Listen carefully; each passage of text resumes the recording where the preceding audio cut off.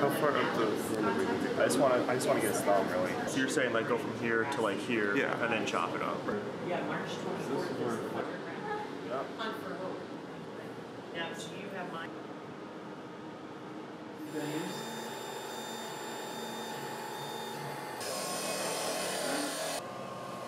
Still gonna be. That's pretty. Get in there longer. So imagine that, but with like a level strap right here. Cooper Meshew, you've won the Holston Innovation Award. Can you just tell the audience a little bit about the project that you did this year for Best Medicine? I made a wrist brace that has different attachments that can go onto it, like a pencil. And if you pick up one of these, they have. And with this brace, I was able to write my name for the first time in three years. That's, that's what Best Medicine is all about. Thinking about what can we do to improve the life for everybody. In fact, that's the definition of biomedical engineering as well.